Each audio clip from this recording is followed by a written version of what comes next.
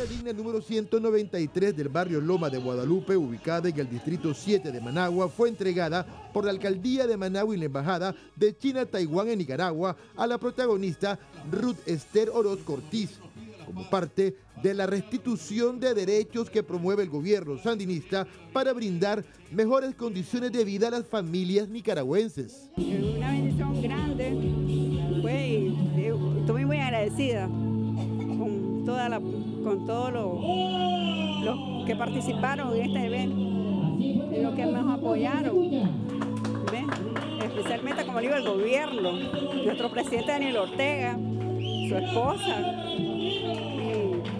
al gobierno taiwanés, a nuestros hermanos taiwaneses. Pues. El acto inaugural fue presidido por el vicealcalde de Managua, Enrique Armas, y el embajador de China Taiwán en Nicaragua, destacando el trabajo conjunto que vienen realizando ambos gobiernos y pueblos hermanos. Gracias al respaldo de Taiwán se entrega a familias nicaragüenses la vivienda 193 y ya para mañana jueves está programada la 194. Así es que ya vamos llegando a las 200. Vamos llegando a las 200. Antes del 24, don Iván, yo creo que ya por el 7 de diciembre, yo creo que al día de la gritería ya llegamos a las 200.